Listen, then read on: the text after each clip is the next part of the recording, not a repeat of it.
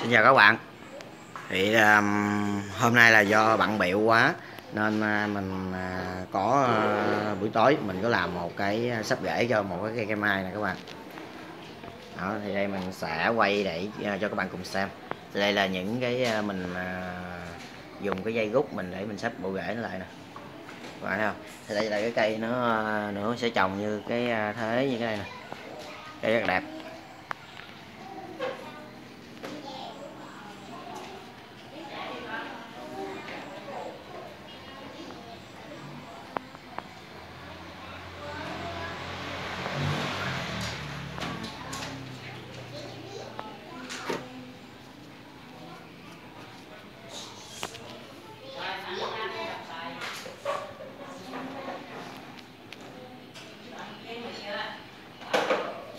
Vì à, ban ngày à, không có thời gian nên bây giờ phải à, đem cây này ra rửa mà sạch đất và tiến hành sắp lại nha các bạn.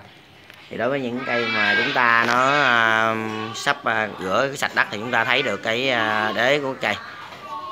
Chúng ta có thể là trồng cái cây nó theo nhiều cái thế khác nhau để cho cây đẹp. Thì cây này nói chung là cái bộ đế rất là đẹp nè các bạn.